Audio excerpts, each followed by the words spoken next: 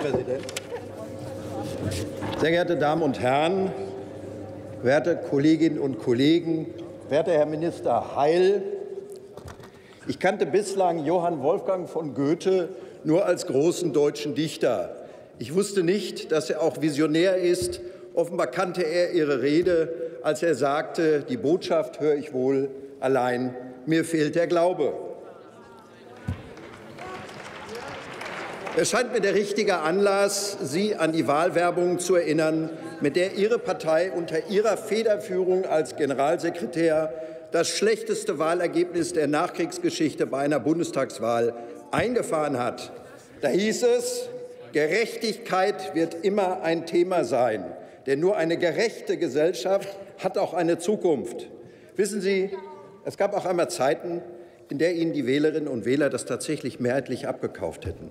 Diese Zeiten sind allerdings nachweislich, wie Sie selbst erlebt haben, vorbei. Sie selber sind bereits seit Ihrem 26. Lebensjahr Mitglied des Deutschen Bundestages. Daher fiel es Ihnen wahrscheinlich leicht, ein eifriger Verfechter der Hartz-Gesetze und auch der Rente mit 67 zu sein. All diese Punkte machen Sie aus Sicht Ihrer Partei zu einem Idealkandidaten als Arbeitsminister und als Verfechter sozialer Gerechtigkeit. Sie müssen allerdings davon ausgehen, dass auch in diesem Fall die Wähler das etwas anders sehen, weil sie erkannt haben, dass ihre Vorstellung von Gerechtigkeit inzwischen nicht mehr nur bedeuten, besser Verdienende zur Kasse zu bitten, sondern dass Gerechtigkeit für sie bedeutet, Millionen derjenigen, die mit falschen Versprechungen hierher gelockt wurden, für 0 Prozent Arbeit zu 100 Prozent an dem teilhaben zu lassen, das die Bürger Deutschlands erarbeitet haben. Und das Ende der Fahnenstange ist für Sie ja scheinbar noch immer nicht erreicht. Das, Herr Minister Heil, ist doch nicht soziale Gerechtigkeit. Soziale Gerechtigkeit erfordert eine angemessene Beteiligung der Bürgerinnen und Bürger am gemeinsam erarbeiteten Wohlstand, nicht eine unangemessen hohe Beteiligung derjenigen, die als Gäste hier weilen und nicht erarbeitet haben und die ihn mehrheitlich leider auch in Zukunft nicht erarbeiten werden können. Denn dafür bräuchten sie eine entsprechende Anzahl geeigneter Arbeitsplätze mit niedrigen Qualifikationsanforderungen. Diese sind aber in den vergangenen Jahrzehnten unter Ihrer Regie leider massiv abgebaut worden. Wenn Sie uns nun einreden wollen, durch Bildung und Qualifizierung könnten Sie das alles beheben, dann wollen Sie uns wahrscheinlich demnächst auch erklären, dass Sie über das Wasser laufen können, Minister Heil. Ich sage Ihnen eines, Vollbeschäftigung, die Sie versprechen, ist unter diesen Bedingungen nicht realisierbar. Stattdessen wollen Sie einen zweiten, einen sozialen Arbeitsmarkt schaffen, um mal wieder die Arbeitslosenstatistik zu schönen. Nennen Sie doch die Dinge beim Namen und verkaufen Sie die Wählerinnen und Wähler nicht für dumm.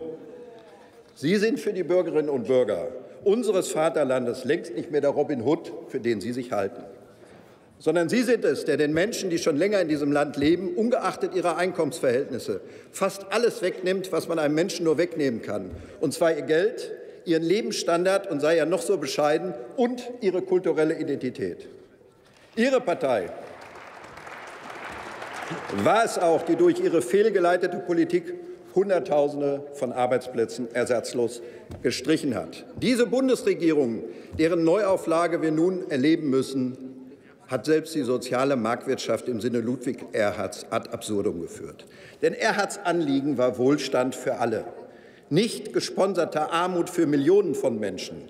Ihnen geht es nicht um das Wohl des deutschen Volkes oder Schaden von ihm abzuwenden, wie Sie es geschworen haben. Sie träumen von sozialen Wohltaten für Europa und sind ohne mit der Wimper zu zucken bereit, dafür das Wohl des deutschen Volkes zu opfern.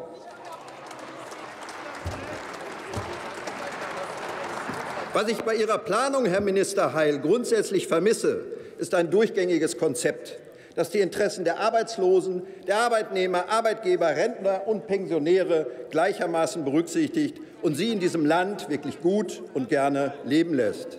Was ich stattdessen sehe, ist ein Stückwerk sinnloser und teilweise an Realitätsverweigerung grenzender Einzelmaßnahmen, die das Übel nicht an der Wurzel packen, sondern stattdessen vielfach das Wurzel des Übels verstärken, nämlich soziale Ungerechtigkeit. Die Alternative für Deutschland wird sie bei ihrem Tun in den nächsten Jahren nicht nur sehr genau beobachten, sondern im Sinne der Interessen unserer Wähler klare Position beziehen. Vielen Dank. Vielen Dank, Herr Kollege Witt. Liebe Kolleginnen und Kollegen, diese Zwischenrufe zur Sache äh, nehme ich mit Interesse zu, zur Kenntnis. Einige Beiträge mögen Ihnen nicht sachlich erscheinen, aber was jemand als Abgeordneter sagt, zur Sache entscheidet er immer noch selbst. Und solange der Minister persönlich angesprochen wird, spricht ja nicht nur der Minister als Person an, sondern auch zur Sache.